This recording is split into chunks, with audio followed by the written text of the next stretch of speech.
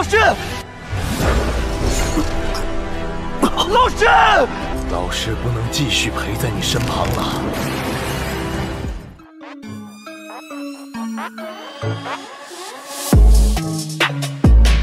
Halo para tetua, para pecinta Battle True Defense di mana pun kalian berada Gimana nih kabar para tetua yang udah lelah seharian beraktivitas? Udah siapkan cut dong dengan perjalanan dari Mang Oyan? Kuy lah gak usah pakai lama-lama lagi Kita akan cutkan dan selamat berimajinasi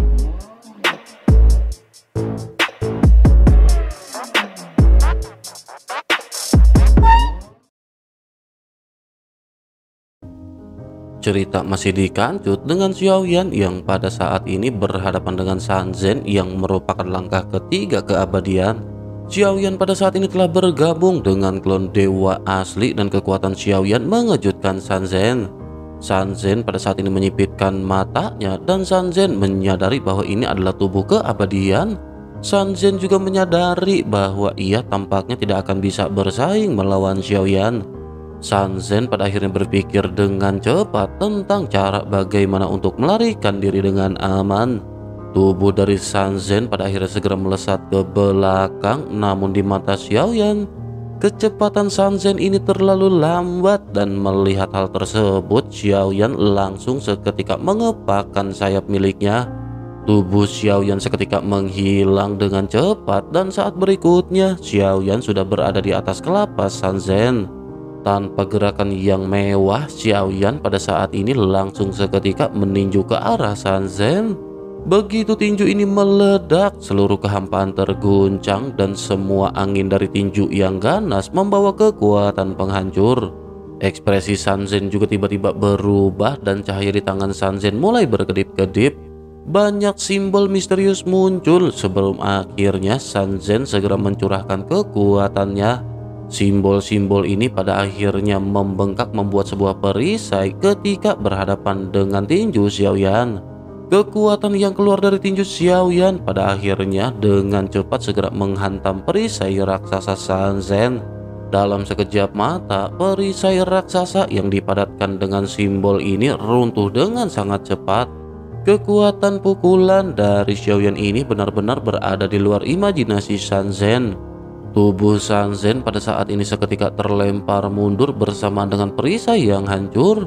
Terdengar lagi suara teredam begitu kekuatan penghancur dari Xiaoyan menyapunya dengan gila-gilaan. Seteguk besar darah bercampur dengan organ dalam yang hancur pada saat ini dikeluarkan beberapa kali dari mulut Sanzen. Bersamaan dengan Sanzen yang terlempar mundur, sosoknya pada saat ini hampir nyaris tidak berhasil menstabilkan tubuh. Satu pukulan Xiaoyan ini benar-benar membuat Sanzen merasa sangat malu dan sosoknya pada saat ini menggertakkan gigi. Luka dalam Sanzen yang disebabkan oleh pukulan Xiaoyan juga cukup parah. Beberapa tulang rusuknya patah dan Sanzen pada saat ini benar-benar terkejut.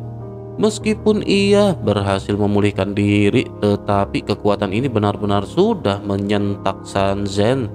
Sementara itu di sisi lain, Xiaoyan pada saat ini tersenyum dan berkata agar Sanzen mengeluarkan semua kemampuannya. Waktu Sanzen tinggal sedikit dan sebaiknya ia memanfaatkan waktu tersebut. Sanzen pada saat ini kembali menyipitkan matanya dan menyadari apa yang dikatakan oleh Xiaoyan ini memang benar. Sanzen pada akhirnya tidak ingin lagi menahan dan cahaya mulai mengalir dari tangan Sanzen. Ada kekuatan misterius yang terpancar ketika Sanzen mendorong lengannya ke atas langit. Sanzen berteriak ketika mengeluarkan teknik mata formasi cantian. Seratus orang lainnya juga pada saat ini melakukan gerakan yang sama seperti apa yang dilakukan oleh Sanzen. Mereka pada saat ini mengaktifkan formasi cantian atau formasi pengubah awan Sirus. Formasi ini tidak bisa dilakukan oleh satu orang, melainkan hanya bisa dilakukan oleh ratusan orang ketika membentuk formasi bersamaan. Semua orang pada saat ini mengeluarkan semua kekuatan mereka ketika membentuk formasi. Sanzen juga pada saat ini segera berteriak bahwa untungnya ia telah bersiap. Jika tidak, mungkin ia benar-benar akan mokat di sini hari ini. Sementara itu di kejauhan, mata dari Wuzan pada saat ini seketika melebar. Wuzan seketika bergumam bahwa ia pernah melihat formasi ini sebelumnya. Semakin banyak pemburu dewa, maka akan semakin kuat kekuatan formasi ini. Ada ratusan orang di sini dan tidak peduli seberapa kuat tubuh seseorang, mereka mungkin tidak akan bisa dapat menahan kekuatan formasi. Jiaoyan juga pada saat ini bergumam bahwa formasi ini benar-benar tampak terlihat kuat. Xiaoyan pada akhirnya menyipitkan matanya, sementara Sanzen pada saat ini kembali berteriak dengan marah. Sanzen berkata bahwa tidak peduli seberapa kuat tubuh keabadian Xiaoyan, di bawah pengawasan formasi Changtian ini, bahkan jika Xiaoyan adalah seekor naga, Xiaoyan akan segera ditundukkan. Xiaoyan pada saat ini terkejut di dalam hatinya karena Xiaoyan bisa merasakan bahwa semakin lama kekuatan formasi semakin meningkat. Tetapi meskipun begitu, ekspresi Xiaoyan pada saat ini masih terlihat tenang. Xiaoyan pada akhirnya segera berkata kepada Goyan bahwa formasi ini sepertinya akan bisa dihancurkan oleh Goyan dalam waktu lima tarikan nafas. Goyan seketika berkata bahwa lima tarikan nafas itu sudah cukup lama Goyan akan memberitahu bahwa jika hanya memecahkan formasi ini, Goyan hanya memerlukan dua tarikan nafas. Xiaoyan pun tersenyum sementara Goyan pada saat ini segera melesatkan cahaya biru ke mata formasi. Suara berdengung pada akhirnya seketika mulai terpancar dari mata formasi dan hal ini membuat Sanzen terkejut. Sanzen pada saat ini benar-benar tidak menyangka bahwa formasi ini akan direbut ini merupakan pertama kalinya bagi Sanzen melihat adanya kekuatan untuk merebut pengendalian formasi. Sanzen pada akhirnya kembali mengerahkan kekuatannya, begitu juga dengan semua orang. Semua orang menggertakkan gigi dan Sanzen pada saat ini berteriak agar semua orang mengeluarkan kekuatan masing-masing. Pada akhirnya di bawah asupan kekuatan yang menggelegar, formasi benar-benar telah berhasil terbentuk. Setelah merasakan bahwa kekuatan yang terkumpul sudah 100%, Sanzen kembali meraung ketika memerintahkan formasi ini untuk mencekik Xiaoyan. Kekuatan formasi yang sangat kuat pada akhirnya seketika memancarkan gelombang destruktif di kejauhan. Sesaat kemudian seberkas cahaya mulai melonjak dalam sekejap mata menuju ke arah Xiaoyan. Xiaoyan juga pada saat ini mengerutkan kening dan bertanya kepada Goyan apakah Goyan sudah bisa menyelesaikan formasi ini. Goyan pada saat ini tidak berbicara sementara susunan serta lesatan cahaya pada saat ini sudah melesat. Lesatan cahaya ini melesat langsung ke arah Goyan dan Xiaoyan. Xiaoyan pada saat ini menggertakkan giginya dan Xiaoyan segera bergegas ke depan Goyan. Xiaoyan pada saat ini mengeluarkan kekuatan fisiknya untuk menahan lesatan cahaya dari formasi. Pupil mata Goyan pada saat ini sedikit menyusut melihat apa yang dilakukan oleh Xiaoyan. Goyan tidak menyangka bahwa Xiaoyan akan begitu baik kepada Goyan. Xiaoyan benar-benar memblokir lesatan cahaya yang datang ketika menghantam ke arah Goyan. Goyan pada akhirnya menggertakkan gigi dan berteriak bahwa ia akan segera memecahkan formasi ini untuk Xiaoyan. Goyan kembali mengerahkan kekuatannya sementara Xiaoyan pada saat ini menggertakkan gigi. Kekuatan mata formasi ini benar-benar menyelimuti tubuh Xiaoyan dan energi destruktif berdampak gila-gilaan. Tubuh Xiaoyan yang ditutupi oleh guntur surgawi penghancur kehampaan pada saat ini memiliki kekuatan yang sangat kuat. Namun kekuatan dari formasi ini juga benar-benar di luar imajinasi Xiaoyan.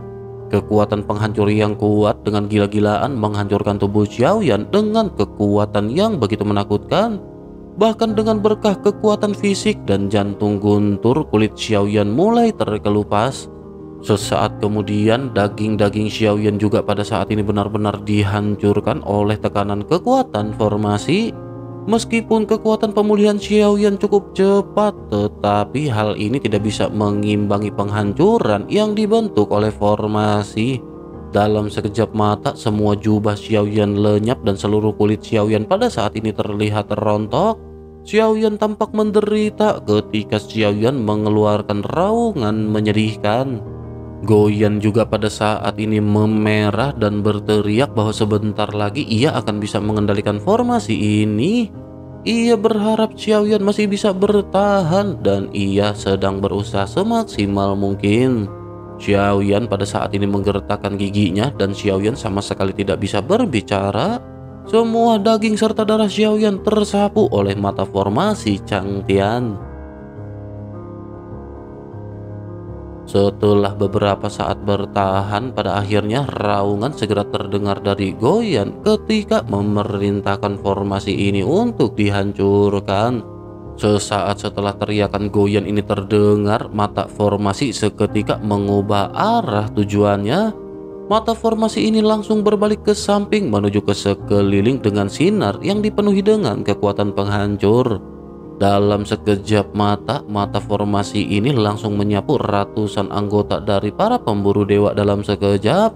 Sosok-sosok yang terlemah yang tersapu oleh sinar formasi pada saat ini benar-benar langsung dihancurkan baik tubuh dan jiwa mereka. Formasi yang menyapu dengan liar ini juga langsung merusak vitalitas para pemburu dewa yang membentuk formasi. Mata Sanzen juga dipenuhi dengan kepanikan karena secara logika ia adalah orang yang mengendalikan mata formasi ini. Tetapi pada saat ini tidak peduli bagaimanapun ia mengubah segel di tangannya. Sanzen benar-benar tidak bisa mengendalikan formasi pengubah langit. Terlebih lagi tekanan yang kuat dari mata formasi Changtian ini juga benar-benar langsung menyelimuti Sanzen. Bahkan jika ia berniat untuk mundur, semuanya benar-benar sudah terlambat. Sanzen hanya bisa menggertakkan giginya dan menerima nasib ketika sinar cahaya mulai mengenai tubuhnya. Dalam sekejap mata, tubuh Sanzen yang tidak sekuat tubuh Xiaoyan benar-benar langsung terkoyak. Sanzen juga mengeluarkan raungan yang menyakitkan ketika sosoknya dihantam oleh formasi Changtian miliknya. Xiaoyan di kejauhan juga pada saat ini menyipitkan matanya. Melihat tubuh Sanzen yang perlahan-lahan mulai hancur, Xiaoyan pada saat ini menggertakkan gigi. Dengan tubuh yang baru saja pulih, Xiaoyan pada saat ini segera melesat bergegas menuju ke arah Sanzen. Melihat hal ini, Goyan menggertakkan giginya dan Goyan dengan paksa menghentikan pergerakan dari formasi. Goyan menyadari bahwa meskipun formasi ini telah dikendalikan oleh Goyan, tetapi kekuatan penghancur dari sinar yang terpancar ini tidak dapat membedakan target yang ia serang. Dengan begitu, jika sosok Xiaoyan menyerbu ke dalamnya, maka tubuh Xiaoyan benar-benar akan kembali dihancurkan. Goyan pun seketika mengerahkan kekuatan yang ia miliki untuk menghentikan lesatan cahaya. Sementara itu di sisi lain, Xiaoyan pada akhirnya telah sampai di tubuh Sanzen dan Xiaoyan kembali menerima hantaman sinar cahaya. Namun sesaat kemudian, sebelum tubuh Xiaoyan hancur, formasi pada akhirnya benar-benar berhenti dan Xiaoyan terselamatkan. Xiaoyan menyadari bahwa Goyan tampaknya telah menghentikan kekuatan pancaran cahaya dari formasi ini. Xiaoyan pun seketika menoleh menatap ke arah Goyan di kejauhan. Goyan pada saat ini tampak terlihat lemah dan sosoknya seketika terkulai. Xiaoyan bergegas menangkap Goyan dan Xiaoyan segera meletakkan Goyan di bahunya. Goyan pada saat ini menghela nafas sebelum akhirnya Goyan melirik ke arah Xiaoyan. Goyan berkata bahwa orang itu pasti akan mati di bawah sorotan cahaya, tetapi ia ingin tahu mengapa Xiaoyan bergegas menyerang ke arahnya. Xiaoyan menggaruk kelapanya dan tertawa kering sebelum akhirnya perlahan membentangkan telapak tangannya. Xiaoyan memperlihatkan adanya cincin penyimpanan yang tergeletak dengan tenang di tangan Xiaoyan. Ini adalah cincin penyimpanan milik Sanzen yang baru saja menghilang di udara tipis. Goyan juga seketika menyadari bahwa langkah beresiko Xiaoyan sebelumnya hanyalah karena untuk merebut cincin penyimpanan ini. Goyan pada akhirnya merasa sangat marah ketika menyadari hal tersebut. Goyan lanjut berteriak bahwa Xiaoyan benar-benar bajingan. Ia benar-benar rela terjun ke dalam formasi hanya untuk cincin penyimpanan seperti ini. Jika ia tahu seperti itu, maka ia akan membiarkan Xiaoyan hancur menjadi bubuk di dalam lesatan formasi. Xiaoyan pada saat ini hanya bisa tersenyum dan mulai berbicara tanpa daya. Xiaoyan berkata bahwa dunia sensi sedang membutuhkan sumber daya. Selain itu, bagaimanapun juga, Sanzen adalah orang kuat di langkah ketiga keabadian. Pasti akan ada sumber daya di dalam cincin penyimpanannya dan sungguh sangat disayangkan jika Xiaoyan membuangnya. Goyan pada saat ini hanya menggertakkan giginya dan menghela nafas mendengar apa yang dikatakan oleh Xiaoyan. Sementara itu Xiaoyan pada saat ini segera mengobrak-abrik cincin penyimpanan Sanzen. Xiaoyan menemukan 100 miliar origin key dan ini benar-benar mencengangkan. Xiaoyan pun bergumam bahwa ia benar-benar memiliki banyak harta. Dengan adanya 100 miliar origin key ini, maka Xiaoyan pada saat ini memiliki total 800 miliar. Hal ini tampaknya cukup untuk menopang dunia sensi yang akan segera menghadapi invasi dan pertempuran. Xiaoyan pun menghela nafas dan menganggukkan kelapanya, tetapi Xiaoyan pada saat ini memutuskan untuk tidak berhenti mencari sumber daya. Bagaimanapun selama Xiaoyan melakukan perjalanan, Xiaoyan harus mengumpulkan sumber daya sebanyak mungkin. Terlebih lagi dari banyaknya sumber daya yang dirampas oleh Xiaoyan, Xiaoyan memperoleh banyak material langka dari cincin penyimpanan yang dirampas Xiaoyan. Material-material ini tidak ditemukan di dunia sensi dan kekuatannya tentu sangat bagus. Namun sungguh sangat disayangkan Xiaoyan tidak bisa menggunakan teleportasi untuk bepergian.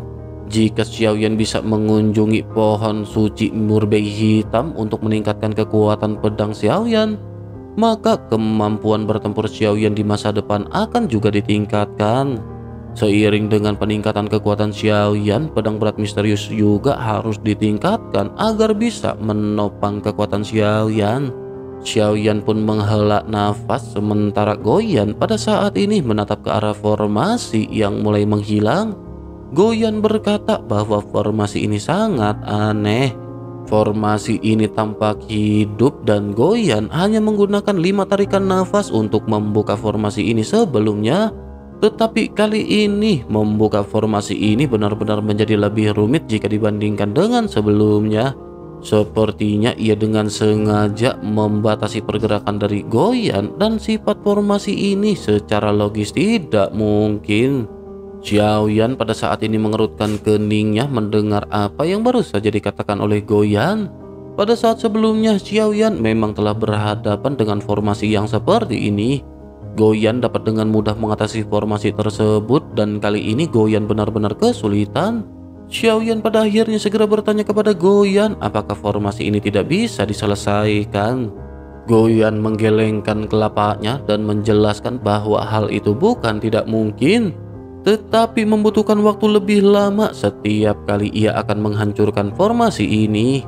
Jika formasi ini menjadi semakin kuat dan kompleks, maka semakin sering dihancurkan. Di saat berikutnya akan semakin sulit juga bagi Goyan untuk menghancurkannya. Xiaoyan pada saat ini menganggukkan kelapanya dan berpikir tampaknya ini adalah kali pertama Goyan bertemu dengan formasi yang kuat. Terlebih lagi begitu Goyan berhasil menghancurkannya, maka di saat berikutnya ketika mereka bertemu dengan formasi ini, Kekuatan formasi ini seolah-olah ditingkatkan membuat Goyan harus berusaha lebih keras untuk menghancurkannya. Bersamaan dengan Xiaoyan yang berbicara dengan Goyan, Wuzan pada saat ini bergegas menuju ke arah Xiaoyan. Wuzan menangkupkan tangannya dan mengucapkan terima kasih kepada Xiaoyan. Wuzan pada saat ini menunjukkan ekspresi kepahitan sebelum akhirnya Wuzan menghela nafas dan mulai kembali berbicara. Wuzan berkata bahwa bintang besar Tiangang sedang dalam permasalahan dan ia berharap Tuan mengizinkannya untuk kembali lebih awal. Xiaoyan pada saat ini menganggukkan kelapanya mendengar apa yang dikatakan oleh Wuzan. Xiaoyan pada saat ini tidak menolak Wuzan dan Xiaoyan berkata dengan serius bahwa Xiaoyan akan pergi bersama dengan Wuzan. Kali ini Xiaoyan telah membunuh orang kuat di langkah ketiga keabadian Istana Pemburu Dewa. Dengan begitu, maka hal ini dapat dianggap sebagai awal resmi perang dengan istana pemburu dewa. Jika memikirkan permasalahan ini, maka bintang super tiangang juga benar-benar akan terpengaruh akibat dari pertempuran ini. Wuzan pada saat ini sedikit terdiam mendengar apa yang dikatakan oleh Xiaoyan. Wuzan juga memiliki kekhawatiran di dalam hatinya akibat dari pertempuran ini. Bersamaan dengan Wuzan yang pada saat ini merenung, kelinci Bingyun segera datang dari sisi yang jauh. Kelinci Bingyun pada saat ini segera berkata bahwa istana dewa pemburu ini terlalu meremehkan orang. Setidaknya setelah kejadian ini, satu di antara delapan dewa akan diutus untuk mengambil tindakan. Mendengar hal tersebut, Xiaoyan dan Wuzan pada saat ini segera menoleh ke arah kelinci Bingyun. Xiaoyan pada saat ini mengerutkan kening dan bertanya kepada kelinci Bingyun. Dengan sedikit emosi, Xiaoyan bertanya ke mana sajakah kelinci Bingyun. Kelinci Bingyun sesungguhnya pada saat sebelumnya merasa sedikit takut dan ia juga ingin mengetahui perkembangan kekuatan Xiaoyan. Oleh karena itu ia memutuskan untuk menghilang dan menjauh. Kelinci Bingyun menyaksikan pertempuran dari kejauhan dan ia terkejut dengan peningkatan kekuatan Xiaoyan. Namun tentu saja kelinci Bingyun tidak akan mengakui hal ini di hadapan Xiaoyan. Kelinci Bingyun pada akhirnya segera berkata bahwa ia hanya sedang memantau pertempuran mereka. Xiaoyan pada saat ini hendak kembali berbicara kepada kelinci Bingyun sebelum akhirnya Xiaoyan merasakan sesuatu. Xiaoyan pun segera bergumam bahwa Xiaoyan akan menangkap dua sosok. Seharusnya Xiaoyan akan mendapatkan beberapa informasi berguna di dalam perjalanan kali ini. Begitu Xiaoyan selesai berbicara, Xiaoyan mengepakkan sayap miliknya dan sosok Xiaoyan menghilang dalam sekejap. Dalam waktu singkat, Xiaoyan pada akhirnya membawa dua sosok yang sedang terikat oleh tali dewa Keduanya tidak bisa bergerak sama sekali di bawah pengekangan tali dewa milik Xiaoyan. Sesaat kemudian, Xiaoyan segera mengirimkan suara spiritual kepada gadis bayangan. Bahkan Xiaoyan pada saat ini tidak bisa menemukan posisi dari gadis bayangan. Menurut pengalaman sebelumnya, selama Xiaoyan menyebarkan kekuatan spiritualnya, gadis bayangan akan menemukan dan bisa mendengar perkataan Xiaoyan. Xiaoyan pada saat ini berkata ketika meminta tolong kepada gadis bayangan untuk menghabisi semua orang yang tersisa. Di suatu tempat di kehampaan yang gelap begitu suara Xiaoyan terdengar, sesosok tubuh kurus terlihat menjulang di kegelapan dan sosoknya segera mengambil tindakan. Tidak ada aura yang bisa terasa dari sosok tersebut ketika ia muncul di kehampaan.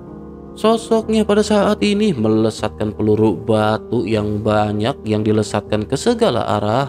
Banyak benturan pada akhirnya seketika terjadi dan suara teriakan bergema di kehampaan. Suara ini menyebar di kehampaan dan ada banyak sosok yang pada saat ini benar-benar langsung dihancurkan. Sosok-sosok ini adalah para pemburu dewa yang melarikan diri ke segala arah yang berhasil selamat dari pertempuran sebelumnya. Meskipun mereka pada saat ini telah melesat cukup jauh, tetapi mereka benar-benar tidak bisa menghindari lesatan serangan dari gadis bayangan. Pada akhirnya, sosok-sosok ini benar-benar dihancurkan fisik dan jiwanya di bawah serangan dari gadis bayangan. Setelah semuanya diselesaikan, gadis bayangan pada akhirnya segera kembali masuk ke dalam labu dewa bermata sembilan Sementara itu Xiaoyan lanjut menepuk kelinci Bingyun dan memerintahkan semuanya untuk pergi ke bintang super tiangan. Di sisi lain, di suatu tempat di alam sejati Suan Yin, ada sosok Zuci yang sedang duduk bersila di bawah air terjun spiritual. Zuci pada saat ini duduk di singgah sananya dengan dua wanita yang menemaninya di samping kiri dan kanan. Bersama dengan hal tersebut, sesosok seperti bayangan tiba-tiba muncul tanpa diketahui kapan di hadapan Zuci. Sosok tersebut menundukkan kelapak dan menangkupkan tangannya ketika memberikan informasi kepada Zuci. Sosoknya berkata bahwa ia ingin memberikan informasi kepada tuan istana. Sanzen telah mogat dan tidak ada satupun di antara ratusan para pemburu dewa yang menemaninya selamat. Zuci tampak sedikit terkejut dan sosoknya pada saat ini bertanya apakah semuanya benar-benar mokat. Sosok tersebut pun mengangguk sedikit sementara Zuci merenung sejenak sebelum akhirnya kembali bertanya apakah ini dilakukan oleh kelinci Bingyun. Sosok tersebut menggelengkan kelapanya dan berkata bahwa itu tidak dilakukan oleh kelinci Bingyun. Zuci pada akhirnya kembali dikejutkan dan sosoknya pada saat ini menegakkan tubuh. Mata Zuci berangsur-angsur menjadi serius sebelum akhirnya ia bertanya apakah itu semua dilakukan oleh pria dari Sensi. Pria yang membawa informasi pun seketika mengangguk setelah sedikit ragu sementara Zuci pada saat ini menyipitkan matanya. Bayangan yang membawa informasi juga pada saat ini segera kembali berbicara bahwa Sanzen telah dicekik oleh mata formasi pengubah langit Separuh dari pemburu dewa juga sama seperti Sanzen. Sementara itu sisanya mati dengan cara yang aneh dengan tanpa jiwa atau raga yang tersisa. Belum diketahui siapakah orang yang menghabisi mereka dan ia berpikir bahwa permaisuri sepertinya telah mengatur orang kuat untuk mendampingi orang ini. Suci pada saat ini sedikit terdiam mendengar hal tersebut karena hasil ini jelas di luar dugaan Suci. Suci tiba-tiba menunjukkan kemarahan dan berkata jika mereka dibunuh oleh mata formasi pengubah langit, mungkinkah seseorang telah memecahkan formasi pengubah langit awan Sirus lagi? Bayangan pembawa informasi pun menundukkan kelapanya sebelum akhirnya mengangguk sementara Zuci sedikit merenung. Zuci lanjut berkata bahwa ini benar-benar menarik karena selama bertahun-tahun formasi ini belum pernah dipecahkan oleh siapa pun. Termasuk kejadian sebelumnya, ini merupakan kedua kalinya formasi ini dihancurkan. Ia ingin tahu siapakah sesungguhnya yang memecahkan formasi mereka. Bayangan itu pun segera menjawab bahwa menurut informasi, Formasi ini dihancurkan oleh peliharaan pria dari dunia sensi yang merupakan sosok dengan mata besar.